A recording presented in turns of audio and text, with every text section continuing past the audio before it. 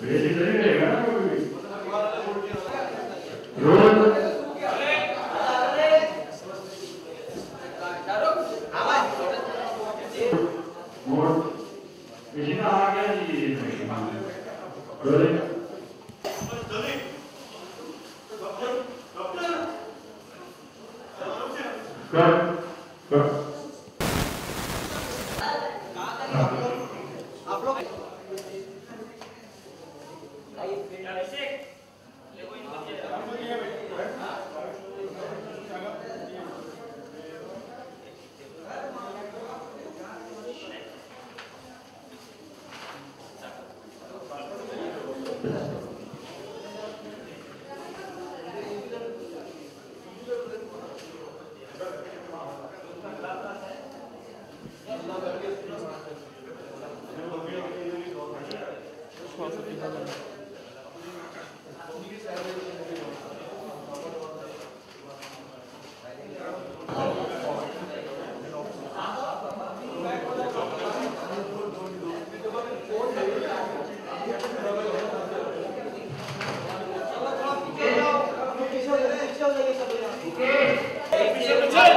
भी यहाँ पे भी आएगा।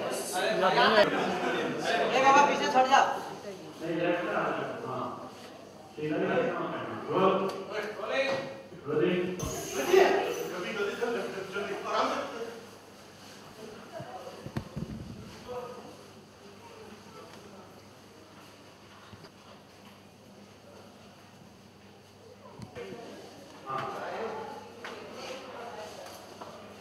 आप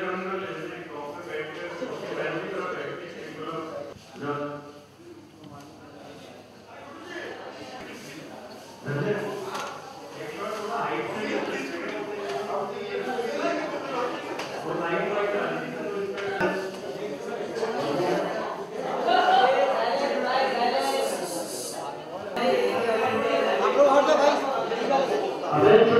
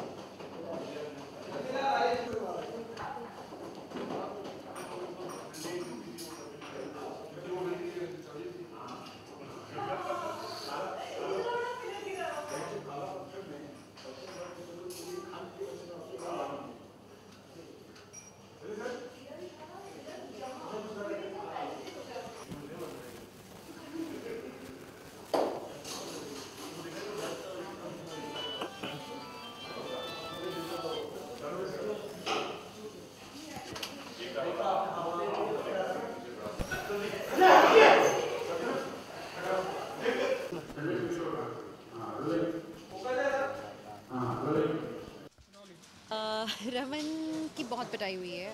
कुछ गुंडों ने उन पर हमला किया था। कौन है, क्या है, हमें कुछ भी नहीं मालूम।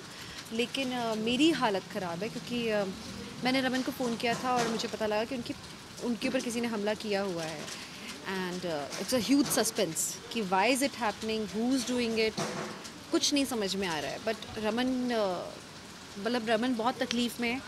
अच्छी बात यह है कि पूरा परिवार अभी उनके साथ में है. हमने देखा वही रमन काफ़ी उनकी हालत काफ़ी नाजुक थी. मतलब या वी ऑल आर स्कैर्ड हमें हम सबको डर लग रहा है क्योंकि रमन का बहुत खून बहा है बहुत ज़्यादा चोटें लगी उन्हें. तो अभी आगे क्या होगा पता नहीं. डॉक्टर से बात हुई क्या? अभी तक तो कुछ बात नहीं हुई है। अभी स्ट्रेचर से बस हॉस्पिटल लेकर ही आए हैं रमन को यहाँ। एंड अब डॉक्टर्स देखेंगे। इसमें थोड़ा उसको क्या कहते हैं? मेडिक एग्जामिनेशन इंस्पेक्शन रेडी अभी रमन को बस लेकर ही आए हैं हम लोग स्ट्रेचर से यहाँ। तो अभी उनका एग्जामिनेशन करेंगे डॉक्टर्स एंड फिर पता चलेगा कि क्या स्टेट है? फ़िलहाल ऐसा हमला मतलब ये तो ज़ाहिर सी बात है किसी ने सोच समझ के किया है। अब कौन कर सकता है करवा सकता है समझ में नहीं आ रहा है फ़िलहाल।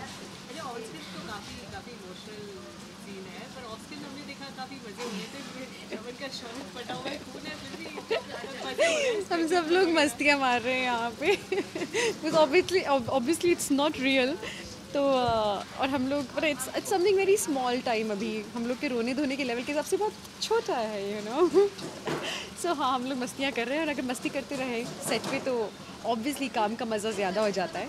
So we all enjoy on set independent day आ रहा है अभी तो उस पर आप क्या कहना चाहेंगे? देशवासियों को कोई मैसेज इंडिपेंडेंस डे पे मेरी तरफ़ से आप सभी को a very very happy independence day और देश की जितनी भी गर्ल्स हैं या फिर महिलाएँ हैं उनके लिए आपका क्या मैसेज रहेगा? कोई अच्छा सा message be rough and tough be strong किसी से दबो मत दबाओ लोगों को। That's the strategy you know thank